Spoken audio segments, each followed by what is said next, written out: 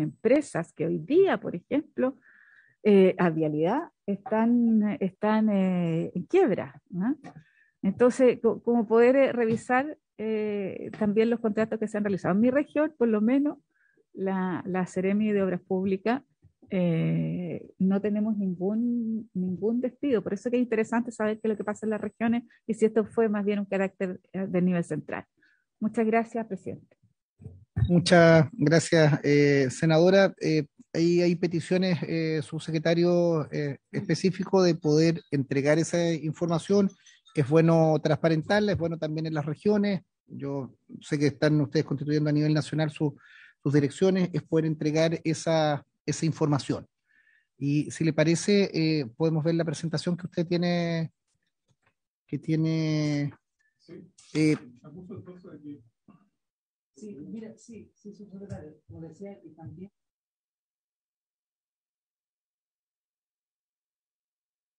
tener eh, harto cuidado en cómo se desvinculan a las personas y cómo se les comunica. Y el caso específico de la Dirección General, Dirección Regional de Agua fue bastante grosera la forma de aguas, Dirección Regional de Aguas ya. Bastante grosera la forma. Ahora, esa es la información que yo tengo por parte de los afectados, no, sé, no tengo la otra, la otra versión, pero tener cuidado con las formas, porque se entiende que los directores regionales eh, tienen que salir, eso no, hay ninguna duda, pero también hay un tema de formas y de procedimiento, de, cuidado, de tino, de, de, fin, del respeto a, a ciertos derechos adquiridos, en fin, no sé eh, para que lo, le den una mirada, porque en el caso de, mi región eh, tengo precisamente el, cuestionamiento eh, no a la decisión, sino al, procedimiento respecto a la Dirección Regional de Agua. En lo demás no ha habido ningún problema. no, Coquimbo. Subsecretario, yo, lo que le pediría, usted va, a escuchar de esta comisión distintos aspectos porque tratamos de trabajar muy coordinadamente de lo que sucede, llegan las informaciones acá, y queremos transparentarlas de esa manera y que se pueda dar eh, respuesta eh, a lo que ocurre en cada una de ellas. Yo sé que usted tiene una presentación y nosotros pedimos disculpas que partimos tarde por un tema técnico que revisando la, presentación creo que es bastante completa, está integrada.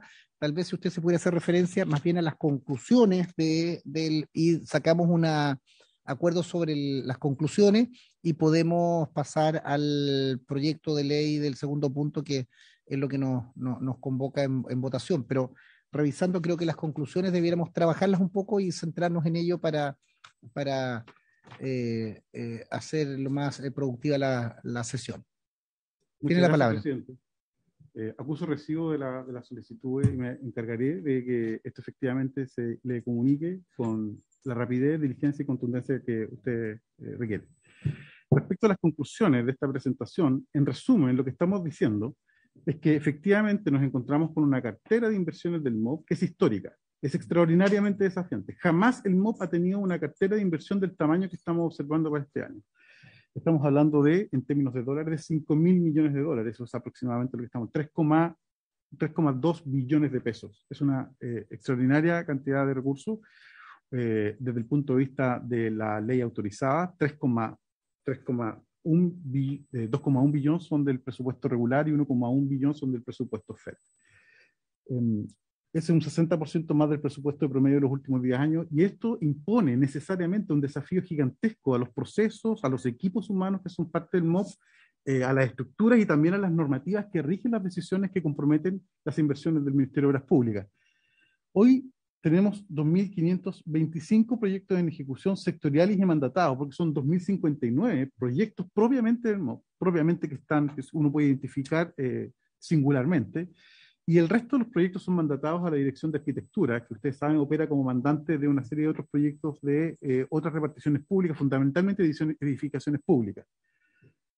La ejecución de esta cartera se encuentra con un escenario muy complejo y quisiera dar dos o tres antecedentes sobre esto. Lo primero, la inflación, que ha afectado de manera importante al costo o al sistemático alza de los costos de los materiales que comprometen las construcciones.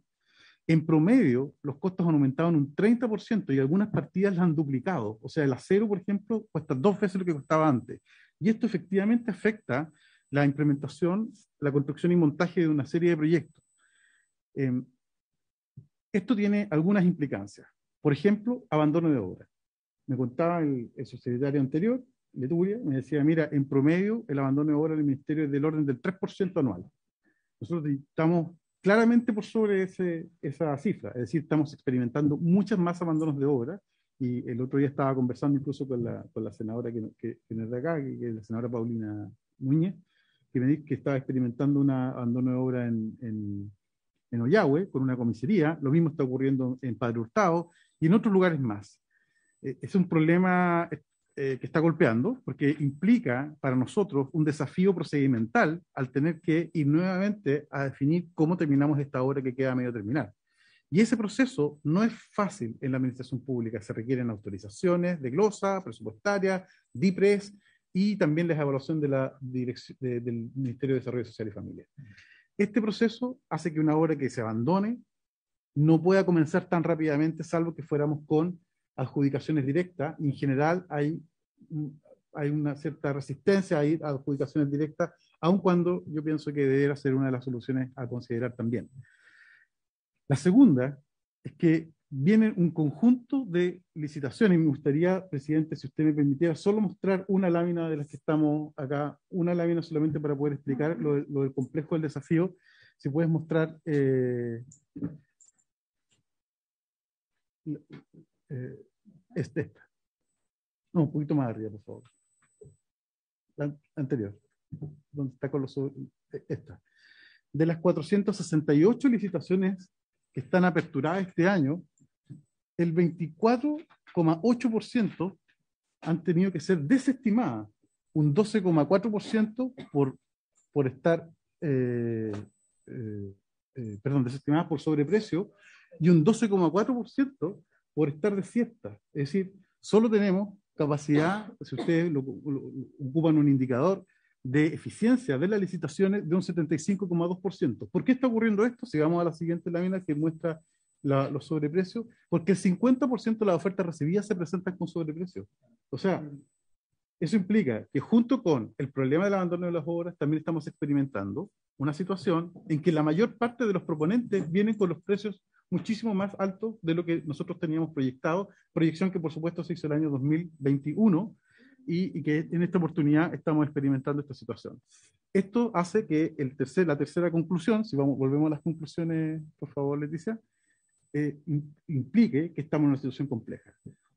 Termino con este tercer elemento. Se amplificó de manera, de manera importante el monto de inversión de la cartera, pero no fue equivalente el monto de las personas que se requieren para materializarla. O sea, por cada, por cada peso que usted invierte requiere un porcentaje de personas también, digamos, para decirlo muy, muy brutalmente. Pero, eh, y tenemos la misma cantidad de personas para invertir mucha más plata. Eso es un problema y lo hemos estado resolviendo con la DIPRE, que nos permita incorporar como parte del costo o gasto inherente del proyecto personas que nos ayuden a movilizar esto. Entonces, eh, quería destacar en en, el, en el, punto 3 lo complejo de la ejecución de, este, de, este, de, esta cartera del año 2022. Al mes de abril, sin embargo, dicho todo esto, al mes de abril ya de este año, ya hemos ejecutado 44.416 millones más que el año 2021. Por lo tanto, estamos haciendo un esfuerzo que sí está viendo resultados. El presupuesto, además, está siendo priorizado según los nuevos lineamientos de gobierno, que están concentrados primero, entre otras cosas, de la reactivación económica que tiene que materializarse. La el Ministerio de Obras Públicas es un ministerio que desarrolla proyectos que consumen mano de obra, por lo tanto tiene impacto en el empleo y desde ese punto de vista está siendo priorizado. Y otros problemas más también, como por ejemplo la problemática hídrica. La problemática hídrica en Chile es una problemática compleja. Nosotros, eh, como ustedes saben, el país históricamente siempre ha experimentado sequías. Esto es parte de la, realidad climática del país. Yo tengo un libro de, de Benjamín Viña muy antiguo, donde él habla sobre el clima en Chile y dice que esto era normal, siempre teníamos periodos de, sequía y después se, se, se, compensaban con periodos de alta pluviometría.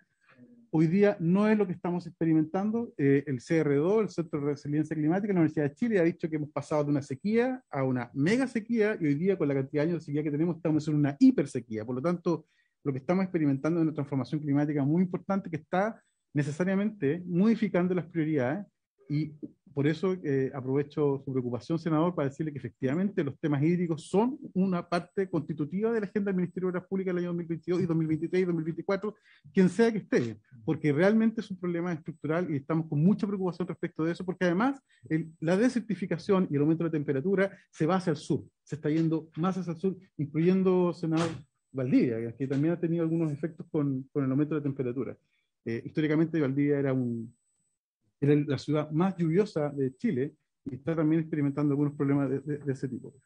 Y para esto, entre otras cosas, lo que estamos haciendo es un esfuerzo de coordinación con todos los ministerios. Entonces estamos reforzando con la DIPRES, con el Ministerio de Desarrollo Social especialmente.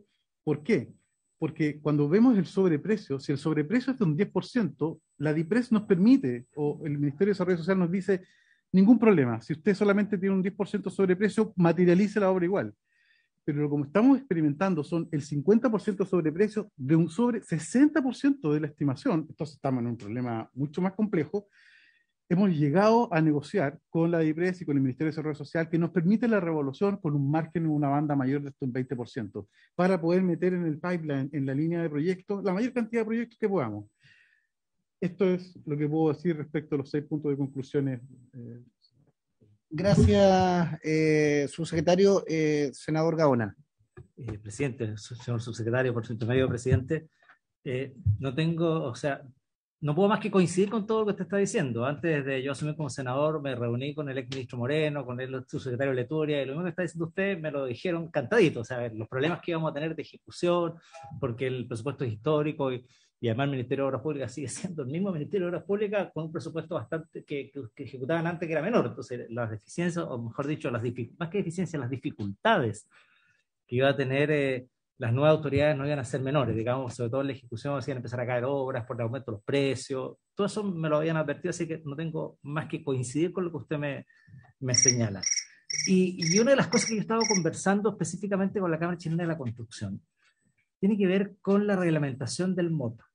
Y, no quiero ser peyorativo, pero sí el establishment del MOP eh, es bastante reacio a los cambios y a las innovaciones y a todo eso, ni contar ni hablar de los fiscales a niveles regionales, porque eh, no se mueve una coma en, el, en, la región si el fiscal no ha visto bueno, el fiscal se toma su tiempo y esto eh, no es de este gobierno ni del otro, es, es parte de la, de la, de la cultura del establishment del MOB. Entonces, por ejemplo, el, el, reglamento de contratación de obras y la reajustabilidad. Ese es un reglamento, si no me equivoco, del año 2004, ¿será? Es el decreto 75, si no me equivoco. Si eso no se moderniza, subsecretario, vamos a seguir teniendo los mismos problemas si no hay un sistema que dé facilidades para la reajustabilidad de los contratos frente a la situación de inflación que estamos teniendo, frente a la situación de alza de los materiales y todo lo demás, el tema del traspaso de las obras. Eh, me contaban, por ejemplo, que, que, una empresa que caía en deficiencia tenía que haber una, una, especie de traspaso de contrato, pero para eso hay que dejar una boleta en garantía, pero la boleta en garantía tenía que dejar la empresa que dejaba en la obra. Y, y, si, la, si, la, empresa estaba en insolvencia, ¿cómo iba a dejar una boleta de garantía? ¿Cómo se poder traspasar? Eso está en el reglamento.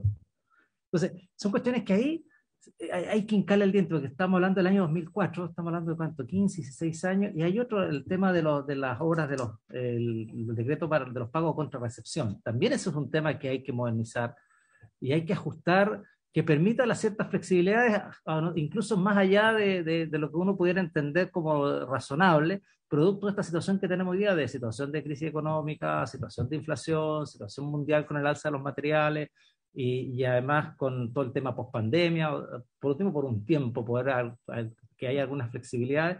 Yo no sé si ustedes han tenido la posibilidad de, sentarse con, con quienes hacen las obras, con la Cámara China de la Construcción, que, para que un poco eh, eh, expliquen eh, dónde son las modificaciones que hay que hacer, para que podamos avanzar rápido, porque tal como usted dice, obras paralizadas en mi región también hay varias y, tienen que ver porque las empresas empiezan a construir y ven que en un minuto dicen, con todo el alza que tienen de material y todo lo demás no llegan y lo más simple es dejar botar.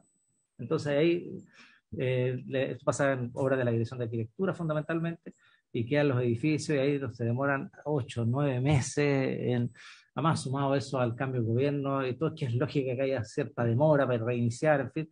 Entonces, yo pondría, trataría de poner el hincapié, yo no sé si ustedes han constituido una mesa de trabajo, algo que permita eh, modernizar y adaptar los decretos que tienen que ver con la contratación, los reglamentos que tienen que ver con, la contratación de obras, su reajustabilidad, los sistemas de pago contra recepción, en fin, y un poco conversar con quienes construyen, porque efectivamente lo que hoy día sucede es que el, y que de quienes construyen eh, señalan que, que, que, al final eh, los ahoga este asunto y, y, al final es mejor dejar botadas las obras que seguir.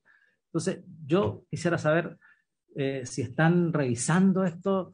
Esto se conversó en la administración pasada. Eh, siempre estuvieron de acuerdo a nivel directivo, pero cuando entramos a, a dialogar con el establishment, no avanzamos nada. Entonces, ahí hay un tema que, y finalmente pareciera que siempre manda más el establishment que la autoridad política. Entonces, por eso ahí quisiera yo que ojalá pudiésemos en este gobierno hacer esas modificaciones tan necesarias para poder permitir más darle celeridad a todo este proceso. Gracias, eh, senador. Eh, senadora Sepúlveda. Muchas gracias, presidente.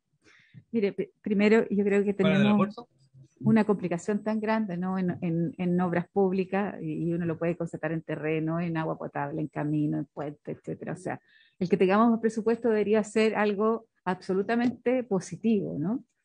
Eh, sin embargo, cuando uno revisa la, la, logística, sobre todo en personal, yo creo que hay que ahí hacer una, una definición. Lo conversábamos además con, con varios en, en, en reuniones la, la, semana pasada. O sea, hoy día, presidente, normalmente había un 13%, ¿no es cierto?, del cual usted se manejaba en términos de personal, eso nos dijo el jefe de planeamiento, y hoy día hay un, un 6%. O sea, la mitad, ¿no es cierto?, de las personas deberíamos, ya tenemos un déficit de la mitad de personal para poder ejecutar el presupuesto que hoy día tenemos. Entonces, prim primero eso, no podemos hacer lo mismo, no podemos hacer, ¿no es cierto?, más con la misma cantidad de, personas porque eso puede eh, rebotar después la calidad de lo que se hace, ¿no? Sobre todo en la, en la fiscalización.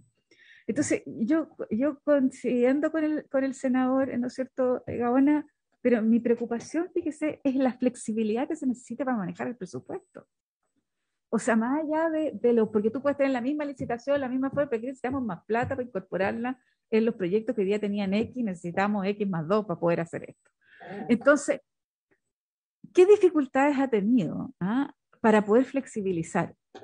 Pongo otro ejemplo, vivienda. ¿ah? Vivienda también, al comienzo tuvimos muchas complicaciones, hoy día se están reactivando las construcciones porque se hizo un ajuste. O sea, se hizo un ajuste de un 30% en las obras y se, y se entregó más recursos directamente a la empresa, no al subsidio, que podría haber sido una alternativa.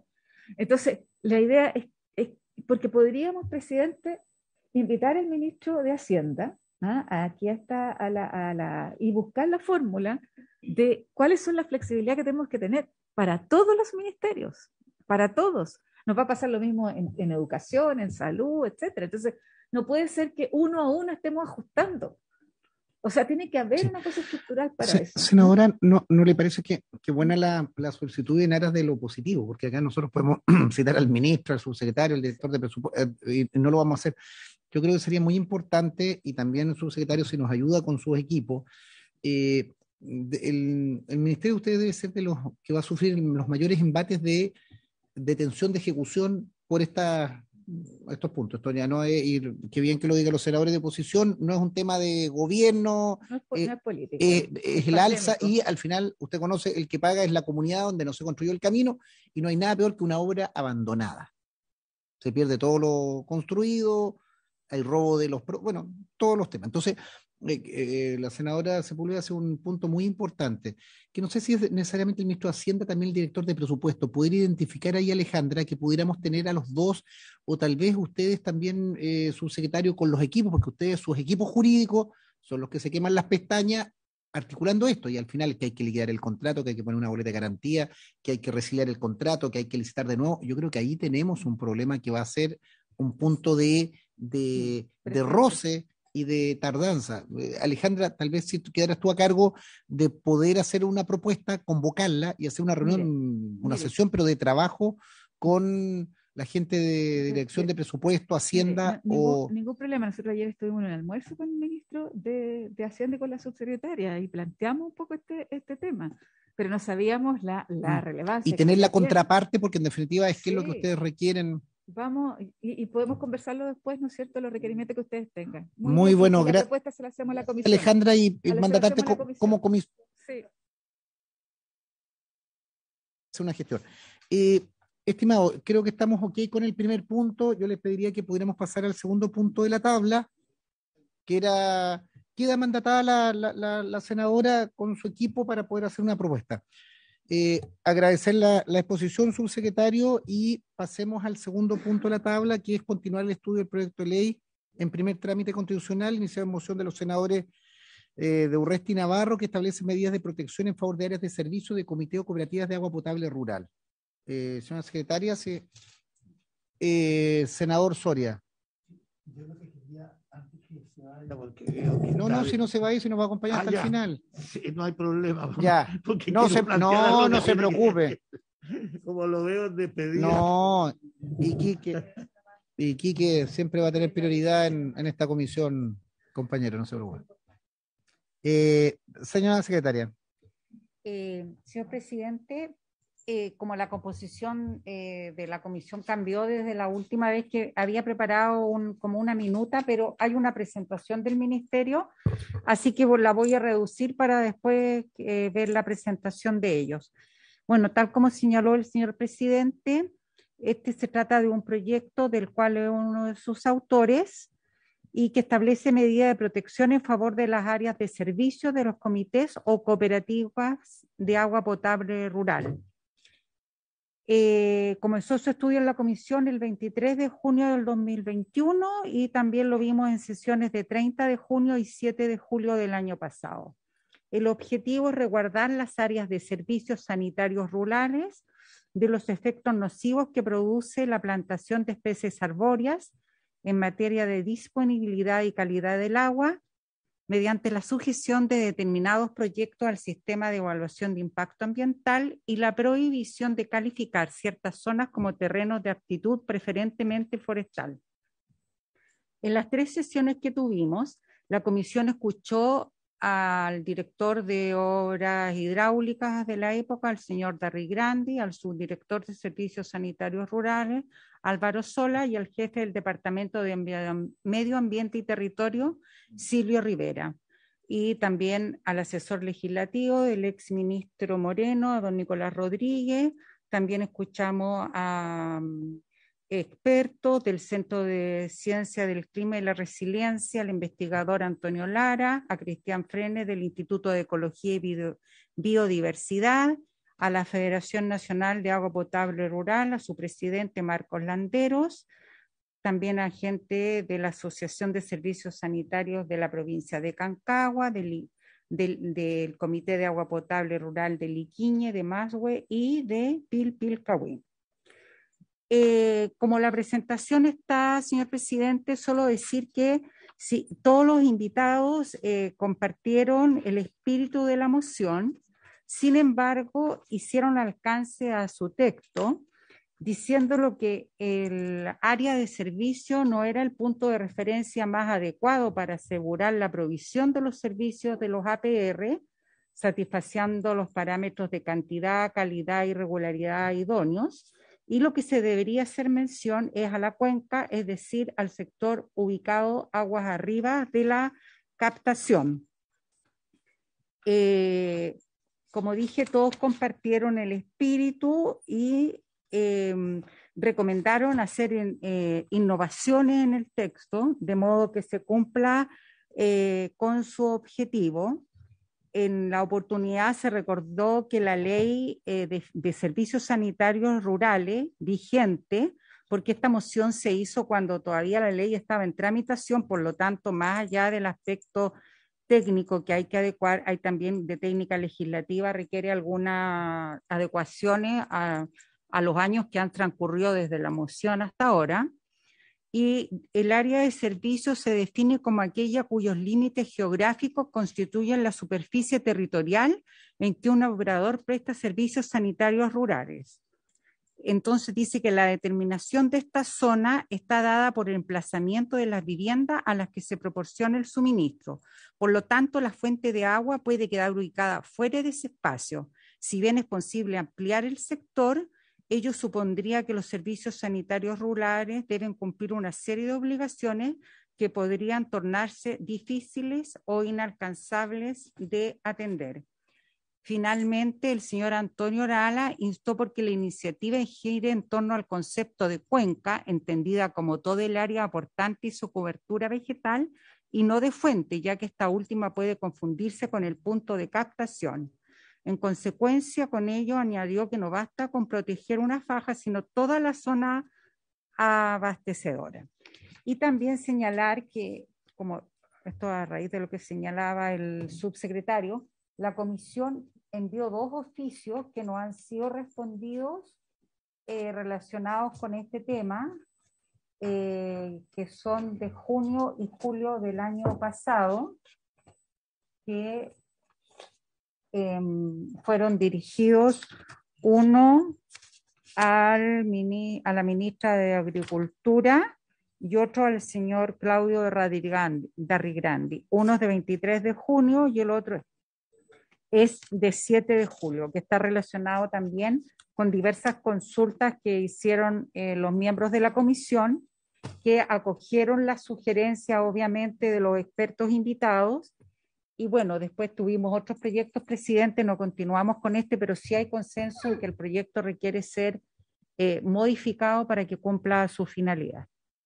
Gracias, eh, secretaria. Eh, senador, sí, vamos a ver la presentación y, y, luego ofrecemos la palabra. Gracias. Tienen la palabra, si pudieran identificar quién expone para registro del, del acta.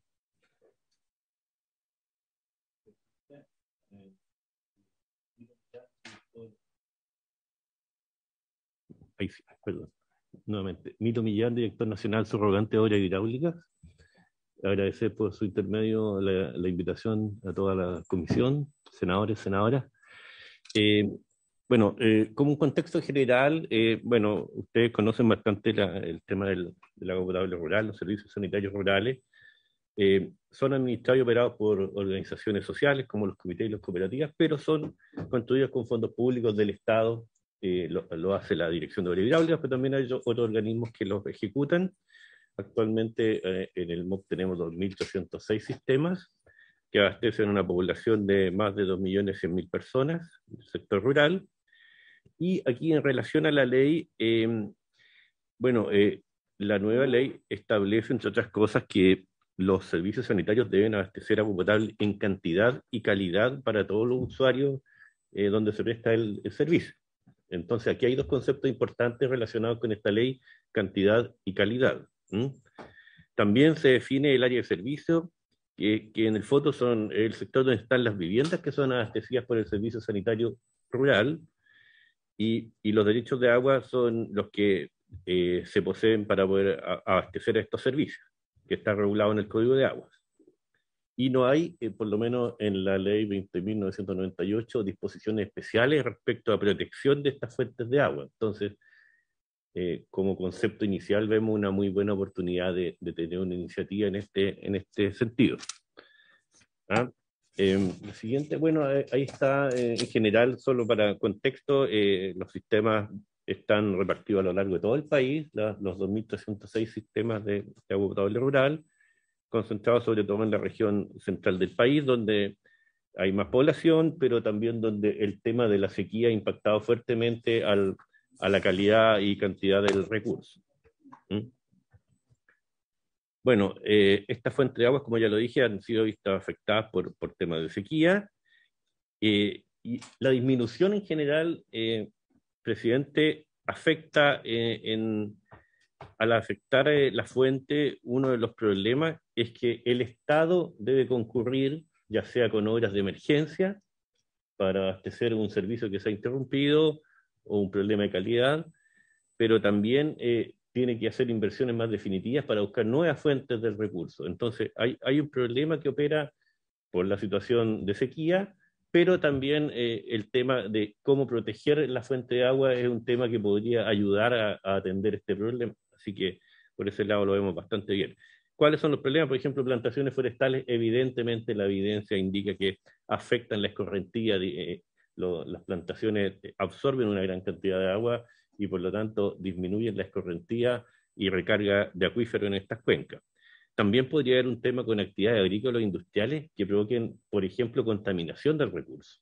Es un tema que sugerimos que podría mirarse también en esta misma ley, no solo enfocarse al tema de actividad forestal, sino que también otras actividades en la cuenca que, que puedan afectar la calidad. ¿Ah? Y bueno, y los servicios sanitarios rurales no disponen de, de herramientas para protegerse de este tipo de actividades eh, que puedan afectar a su, a su fuente. Al, al, decir fuente estoy hablando tanto superficiales como subterráneas, eh, sobre todo en el sector sur hay, hay muchos sistemas que se abastecen de, de quebradas, de, de, de, vertientes, de pequeños esteros, entonces hay un tema superficial que hay que mirar también. Eh, el código de aguas sí tiene, tiene un, tema, el nuevo código de aguas incorpora, bueno, la, protección tradicional son un radio de 200 metros alrededor del pozo, pero eso se puede ampliar según el nuevo código de agua. Entonces, cuando tenemos una fuente que es un pozo en el valle, podemos ampliar el radio de protección para un, una y, y eh, perdón, ese, esa ampliación la decretan vía administrativa. Nosotros hicimos la modificación en el código en la las últimas. General de agua, sí. Claro, pero por lo que demora, en lo que se demora ya no queda agua. O ya están las perforaciones, están constituidos los derechos sobre otro pozo. ¿No hay ahí, director, un procedimiento más, más rápido? Porque 200 metros hoy día es algo eh, irrisorio. Hay, hay, localidades que uno le toca ver que donde hay una PR a 250 metros hay una plantación de arándanos y hay un pozo industrial, digamos. De, de... Entonces, eso es, eh, nos tocó trabajar en la Comisión de Constitución. Soy autor de la ley de, de la modificación del Código de Agua. Se agradece mucho ahí el trabajo que hubo de los equipos de la DGA de, del Ministerio, la administración anterior y, y, a, y, antes, ahí está Carlos Esteve y Crispi, si no mal no recuerdo, que se trabajó muy bien, pero eh, es un procedimiento lento, lento, porque las perforaciones se hacen y terminas con decenas de pozos en, alrededor del, del, de la PR. Eh, senadora Sepúlveda. Yo, yo aquí apelaría a su secretario porque la gran complicación que tenemos es la coordinación de los servicios. Porque al final lo, lo, que ocurre es que la dirección de obra hidráulica están con los pozos, tratan de, de hacer su trabajo, pero la Dirección General de Aguas, ¿no es cierto? Cuando tenemos, cuando, cuando se empiezan a, a, a intervenir, ¿no es cierto?, las fuentes, eh, no hay una relación entre ambos, no existe. Entonces, la, la, Dirección General de Agua, imagínense, están los pozos hechos y dice, no voy a ir a fiscalizar hasta que se utilicen los pozos. Y uno debería colocar una alerta a quien esté haciendo el pozo. Antes de... Usted, usted, no puede seguir, lo estamos mirando. Eso, eso no ocurre. ¿ah? Pero, pero además de esto, hoy día tenemos una, una cosa adicional que, que, es la subdivisión de predios rústicos. Y esta subdivisión de predios rústicos, además, hacen pozos ¿ah? o aguas potables privadas, ¿ah? además de las que plantea el director, ¿no? Aguas potables privadas que complican y disminuyen el pozo. Entonces, uno, lo que nosotros propusimos un minuto, que más allá de los 200 metros, nosotros habíamos puesto 1000 metros, ¿ah? sí. ¿se acuerda que fue una discusión que sostuvimos? Eh, es cómo eso influye, ese pozo influye en el, porque puede estar a 3 kilómetros pero influye en, en, el, en, el, caudal del pozo de consumo humano de la, de la PR. Entonces tiene que ver más bien con el efecto que con la distancia, ¿no? Y, y yo decirle a su secretario, mire, aquí hay cero coordinación, pero cero. No hay cero, hay coordinación, no con vialidad, con, con la DOH, con la, de, la DGA. Es el usuario lo que tenemos que ir a reclamar y, y, la verdad es que es muy, muy difícil. Muy difícil. Sí, sí eh, antes de darle la palabra al, al senador Gaona, eh, ministro, así, o subsecretario, así como ustedes solicitan ayuda y habrá toda la colaboración para mejorar la, ejecución presupuestaria, la readecuación y que eso estaría más bien de Hacienda, que tenemos que colaborar. Yo creo que aquí no necesitamos instancias legales, no necesitamos instancias legislativas, sino son instrucciones internas. Le tiene toda la razón la, la, la senadora es el concejal que está ahí, es el presidente de la Junta de Vecinos, que es donde el alcalde, que el alcalde llama al parlamentario, y el, no, no, por eso lo que le digo, que va subiendo, va subiendo Alejandra el reclamo y es un reclamo que ya, claro, eh, va con toma de camino, va con, con marcha, con pancarta, eh, no hay una visión, yo, yo creo que ahí hay una visión un poquito, un poquito eh, funcionaria de cada uno hace su pega, yo creo que la Dirección General de Agua son correcto el trabajo, la de DOH para que sí, cada uno hace bien su pega, Vialidad hace su pega, pero nadie mira lo que afecta al otro lado. Entonces, si el pozo está a 200 met- menos 201 metros, se autoriza y se hace y, vamos para adelante. Entonces, eh, esto no va a cambiar con más, mejor legislación. Esto cambia con una mirada, que exista una autoridad, sea una autoridad del agua, una autoridad que entienda que un pozo más altera y afecta todo lo anterior. Yo, yo creo que ahí hay que cambiar la, cultura, empoderar más a los funcionarios, pero cambiar, cambiar el, rol. Senador Gaona. Presidente, efectivamente coincido con usted. Yo creo que tenemos un problema. eh, Estuve yo mirando el, proyecto de ley que viene de la legislatura anterior y los temas de los APR y lo que está en el entorno. La APR es una actividad como varias otras más que hay en las cuencas. Hay APR, hay agricultura, hay eh, proyectos forestales, hay proyectos industriales. En mi región no tengo forestales, pero tengo pe- pequeña minería, en fin.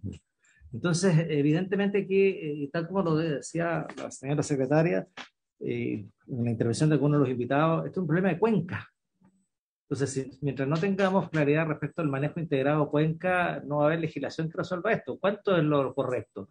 300 metros, 500 metros, 1000 metros, 2000 metros, que no se puede hacer un pozo, eso no va a resolver el problema. Tampoco el área de servicio y, los derechos de agua, porque buena parte de los comités de agua potable rural ni siquiera tienen regularizados sus derechos de agua. Entonces, esto es un problema de gobernanza, como lo decía el senador Turresti. En definitiva, ¿cómo, cómo se gobierna la cuenca y cómo están ahí todos los actores los, los agricultores, los pequeños mineros, los forestales, el- la sanitaria, los APR. Y, y si hoy día no, no, no existe esa institucionalidad, sí existe el Ministerio de Obras Públicas, existe la DOH, la, la, la DGA, que podrán coordinar este manejo integrado de cuenca, aunque no, no hay un man- mandato legal, sí hay un mandato administrativo para poder armar esto. Eh, yo creo que el proyecto de ley no resuelve el problema. Eh, ¿Cuánto va a ser? ¿200 metros? ¿150 metros? La, la ley de servicios sanitarios habla del área de servicios ya. El código de agua establece cuán- qué, cuán- qué pozo se puede hacer, a cuántos metros y todo. Entonces, va, el problema va a seguir, pero este es un problema de cuenca. Entonces, eh, yo creo que ahí sería interesante conocer de obras públicas cómo están pensando manejar esto, porque, porque esto no es un problema de ahora. Hoy día empiezan a mostrarse más los problemas porque hay escasez. Cuando no hay escasez, esto no, no se va a mostrar. Pero como hoy día hay escasez, evidentemente salta a la luz pública o a la luz de todo. Y todo el mundo reclama y todo eso. A nosotros nos pasa con, con los agricultores, que, que la gente de la PR que nos pasó en la provincia del Choapa, la gente de, de, de, un, de Panguesí, un lugar, eh, no querían que se sacara agua de unos pozos que abastecían a la PR para poder abastecer a la ciudad de Yapel para el consumo humano. No estamos hablando, o sea, gente de una localidad que se oponían y se tomaban los caminos para que no le dieran agua a la gente de Yapel. Entonces, esta cosa, eh, si no se, como decía el, el- el senador el presidente, si no hay un, si alguien no toma, el, no toma el toro por las astas, aunque sea de la perspectiva administrativa, esto no se va a resolver. Y yo creo que este proyecto de ley no resuelve el problema. No lo va a resolver. En, esa línea, para continuar la exposición, eh, eh, director, eh, eh, nosotros estamos claros que este proyecto viene de la legislatura anterior, incluso hay que una adecuación eh, por las normativas que se ha aprobado. Lo que nosotros queremos, junto con, la exposición que usted nos está, nos está haciendo, es que nos ayude la Dirección de Obras Hidráulicas, nos ayude el Ministerio a actualizar la, normativa. Claramente, más que área de servicio, lo que hablamos es eh, o punto de captación o cuenca.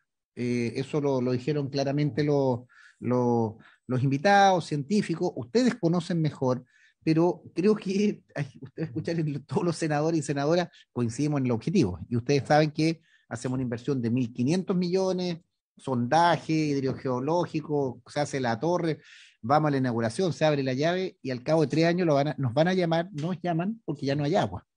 Y es peor porque nos quedamos con la infraestructura hecha y claramente porque no se reguló que más arriba se hizo un pozo para una agrícola o para un loteo o una minera o a veces o una minera. Entonces, yo creo que todos los, los sectores tienen derecho a convivir, pero hagamos un- una prioridad de consumo humano, que es la prioridad ya las Naciones Unidas lo ha señalado, la propia ley. Entonces, eso es, es eh, director, lo que nos gustaría, sigamos con la exposición, pero que concluyamos que más allá que la técnica legislativa, que usted no va a ver pelea de gobierno-oposición si esta norma o no, una norma que para ustedes sea un instrumento, si ustedes, ustedes como ministerio, son los que tienen que velar con esto, y no que el vecino, que la PR más fuerte, que se tenga más belicosidad, le pelea a la, a la asociación de regantes o de crianceros o pequeños agricultores al otro lado, no, sino no podemos pelear entre nosotros. Ustedes son los administradores del recurso hídrico y esta ley va en, esa, en ese sentido. Tiene la palabra.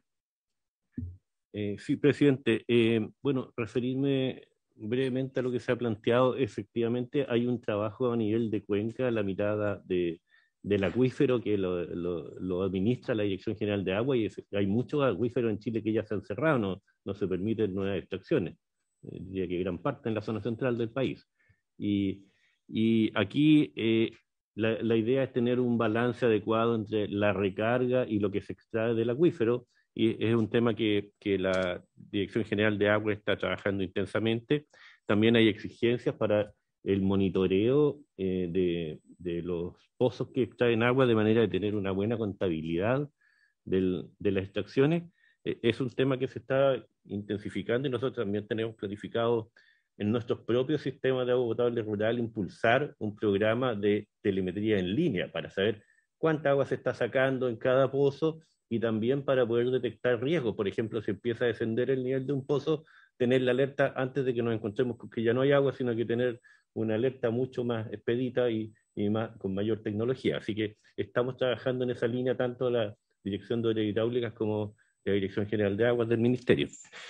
Continuando un poquito con la presentación, eh, ya refiriéndome en específico a, a algunos puntos del proyecto de ley que creemos que hay que, hay que mirar, eh, la, la protección efectiva de la fuente, ya sea superficial o subterránea, eh, resulta eh, muy recomendable porque normalmente aquí vamos a caer en que hay una microcuenca o una subcuenca que es la que abastece realmente de agua al, al, al sistema, ya sea una captación de una quebrada, de un pequeño estero o también incluso de, algún pozo que, al que le llega eh, agua subterránea de- proveniente de una cuenca que está hacia arriba. Por lo tanto, un, un punto importante es definir el punto de captación del agua y a raíz de eso eh, mirar hacia arriba, mirar cuál es la, la cuenca. Eh, en ese, ahí puse un, un pequeño, una imagen donde dentro de una gran cuenca hidrográfica del país hay un punto de captación de un servicio sanitario rural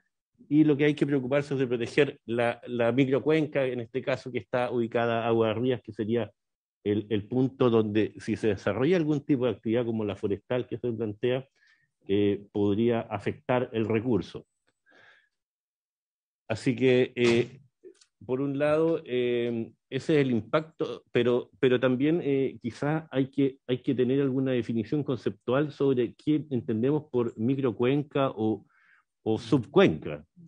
¿ah? Hablar, hablar de, de la cuenca completa de un río como zona de protección puede ser excesivo, entonces creemos que hay que focalizar en, en aquellos, eh, no Entonces, sé, precisamente ¿Ah? eso es lo que nosotros le pedimos. Sí. Mire, si, si uno por, por, por Sí. nuestro conocimiento territorial, pero nuestro conocimiento político no pediría la cuenca. Obviamente la cuenca es, un- es una Claro. situación mayor y que lo estamos viendo con obras públicas a propósito de los estudios de cuenca, Exacto. como cuencas más bien hidrográficas. Claramente el lugar de captación de, de una PR es, es algo menor, pero ahí es donde nosotros les pedimos expresamente más independiente del, del conocimiento que ustedes tienen, subsecretario, eh, es que nos ayuden a precisar el, el aspecto técnico. Si nosotros sabemos, sabemos que hay escasez hídrica, sabemos que hay eh, disminución, pero también sabemos que si al lado de una PR se, eh, existe una plantación de eucalipto o se instala una plantación de, si me ayudas Alejandra ya, manzanos o no sé qué, de palto, Claro. o, o en el caso de, de- de la región de Coquimbo se establecen eh, nuevas plantaciones o un complejo turístico, sabemos que eso va a afectar. Entonces, ahí es donde buscar la definición más que geográfica, la definición de impacto, de, de área de influencia. Nosotros hablábamos de área de influencia, que es cuenca, pero no es la gran cuenca, la 101 cuencas que, que tenemos, que está estudiando el ministerio. Entonces, ahí lo que les pido, director, eh, subsecretario, dar el tono, entendiendo que sabemos cuál es el problema. Si no lo encontramos, nos vamos a hacer los lesos y vamos a seguir con problemas en, esto. Yo prefiero equivocarme en la definición, pasarme un poco, pero proteger ese espacio y que las inversiones, al final del día, la inversión en agua potable rural sea, sea sostenible en el tiempo y no terminemos con la torre de, agua de, de, adorno y sin ningún litro de agua. Tiene la palabra. Presidente, sí, eh, concuerdo con lo que usted plantea. Eh, el foco, a mi parecer, debe ser el punto de captación, ¿ah? ya sea subterráneo o superficial, y desde ese punto mirar hacia agua arriba, la cuenca se puede definir por un criterio eh, geomorfológico, es decir, uno puede, mirando la topografía del terreno, identificar cuál es el territorio que abastece de agua ese punto por pendiente, básicamente. ¿eh? Si uno tiene un mapa con, con, la, con, las pendientes del terreno, uno, cualquier técnico puede identificar rápidamente, esta es la microcuenca que abastece a este punto de captación.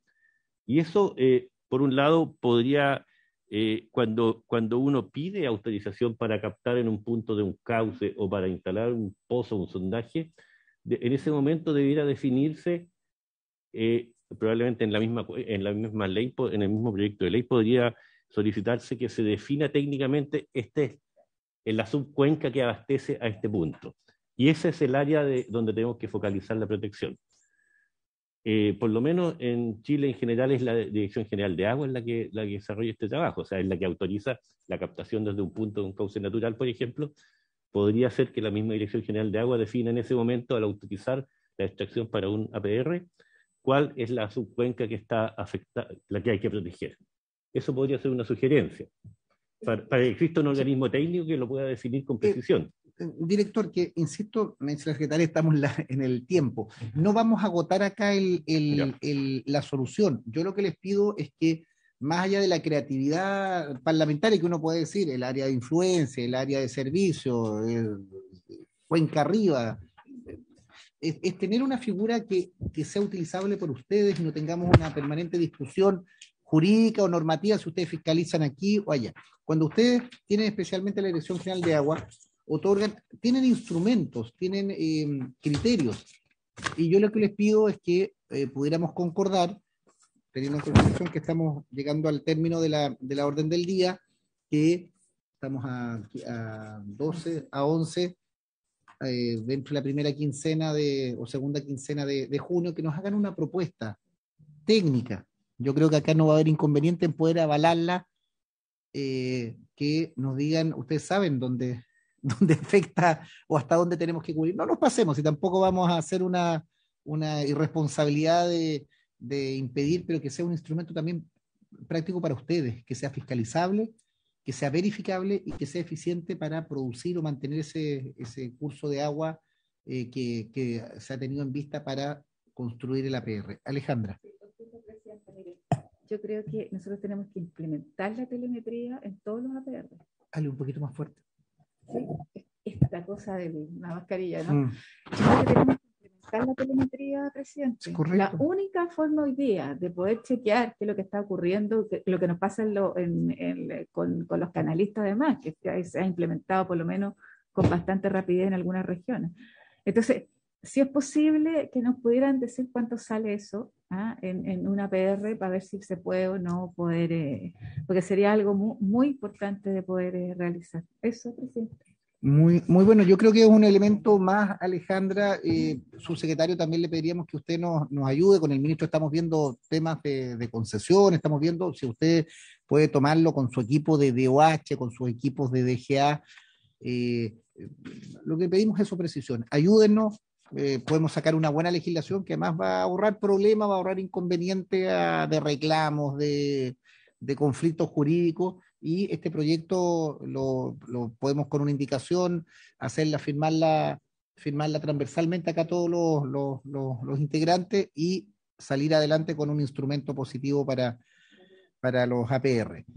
Eso, eh, director, estamos llegando a la orden del, del día, yo lo que pediría que nos dejara eh, disponible esa presentación, eh, pedirle dos cosas, o hay dos, temas, están pendientes las respuestas de esos oficios, que se, inmediatamente, Jorge, eh, que sería bueno poder consignarlas para que queden, queden con la respuesta adecuada, porque era a propósito de este proyecto, y que nos demos, veíamos aquí las, las nuevas sesiones, ahí sobre el 15 de, de junio, tener alguna propuesta, un borrador que ustedes nos sugieran con sus equipos, eh, geógrafos, ingenieros o técnicos que conocen espe- la especialidad de, de fijar el aspecto. Aquí con la academia discutíamos si es la cuenca, si es la microcuenca, si es... Busquemos un, un concepto y nosotros podríamos, colegas, firmarlo transversalmente, eh, transversalmente como una indicación eh, sustitutiva para efectos de llevarlo adelante. a la medida que estén bien definidas reglamentariamente. Claro, y que sean útiles, y que sean útiles.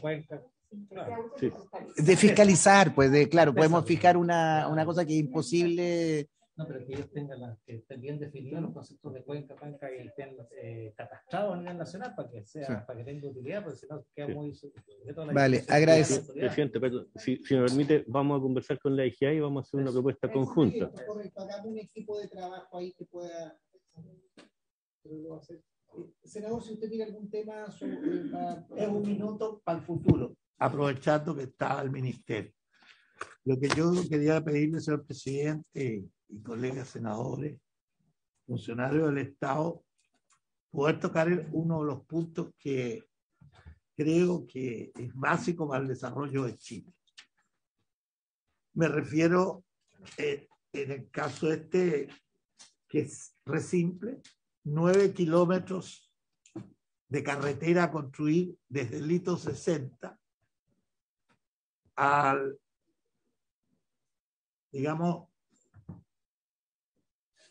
al camino a Bolivia. Eso en el Salar de Uyuni. Ese sería el tema. Si nosotros en Chile, de las carreteras internacionales, faltan este pedacito nomás en el área norte. Y, y termino contándoles chiquitito que nosotros, Chile, está en este momento perdiendo el Océano Pacífico como puerto. O sea, todo lo que se hable al paraíso, San Antonio, para que hablamos del norte, esto va a hablar. Y Perú nos hace 10 puertos que se los entrega a China.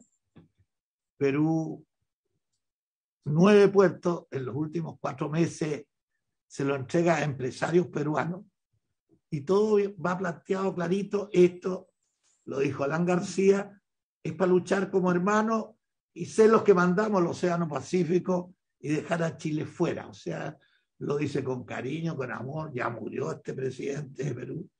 Pero eso en este momento se está concretando. Eh, Nosotros con pequeñas cosas como estas que yo le traigo, podemos mejorarlo. lo podemos Sí. mejorar Jorge, muy rápido. Jorge, que para transmitir una, un- un- una inquietud que me señaló el, el ministro, no lo ha dicho acá en la comisión, pero no, no, no es excepción. Él tenía una reunión en estos días con el presidente, en lo que se llama una bilateral, precisamente a propósito de la política de puerto. Eh, le hice ver la situación que en esta comisión hay preocupación y particularmente tú has liderado lo del puerto, en Coquimbo también hay observaciones, bueno, en el sur también, pero el- es la política de puertos y el, también yo creo que quede pendiente de poder invitar al ministro con... Y con ponerle carretera. Y- y ponerle, y claro. carretera, eh, yo Y- termino contándote que en este año Mm. Chile puede ser dueño del Océano Pacífico.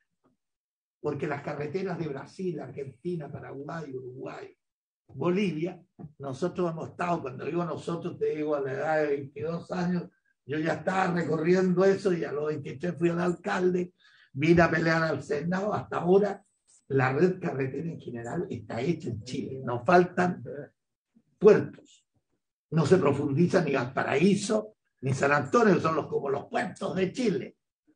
No solo hay que profundizarlo ellos, todo. Si no, yo diría que en un año Chile está borrado de Sudamérica. Esto es puerto y carretera. Es un tema, gracias Jorge. Y, y es Sí, rápido. sí, O sea, yo estoy hablando de seis, ocho Sí. meses. Esto lo están haciendo, son va- miles de millones de Vamos a citar al ministro para eso, pero quería adelantarles al menos lo que me había podido comentar. Agradecerle su secretario, a su equipo, directores, asesores eh, eh, presentes, eh, tomar los compromisos, particularmente su secretario, le pediríamos a usted con su equipo de DOH lo de la propuesta de un borrador para, para esto y habiéndose cumplido el objeto de la sesión, 30 segundos. dele- nomás. Sí. Brasil en este momento, en dos semanas más, tiene una reunión internacional de los países para tocar esto del Océano Pacífico, sus carreteras, donde eh, la idea es que vayan senadores chilenos, ya hay tres que yo he logrado convers- conversar con ellos, pero personal, pero esta es la comisión que debe ser la que al final eh, autoriza todas estas cosas, pues si no sale que por otro lado se están haciendo las cosas. Hay gente dispuesta a ir y, presidente, muévete tú, vale, te dejo la responsabilidad. Ya, Jorge, muchas gracias. Eh, habiéndose cumplido el objeto de la sesión, se levanta.